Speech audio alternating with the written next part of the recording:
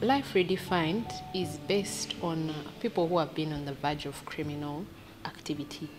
They've have substance abuse, they have a history of petty crimes as well, because that's a, um, an effect, a side effect of substance abuse.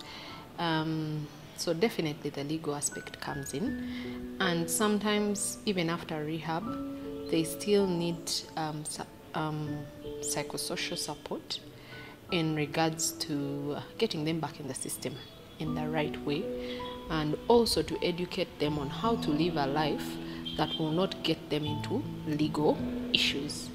Um, most of these um, people have had life on the streets. They've had uh, what recently has been um, addressed as being idle and disorderly. They've been homeless, petty crimes like theft, robbery, um, all those simple, what they call simple crimes, but under the law, they are, um, you can be incarcerated for them. So, yes, the legal aspect is very important. And in the legal system, we do have an area where they don't necessarily have to give you a jail term for such offenses.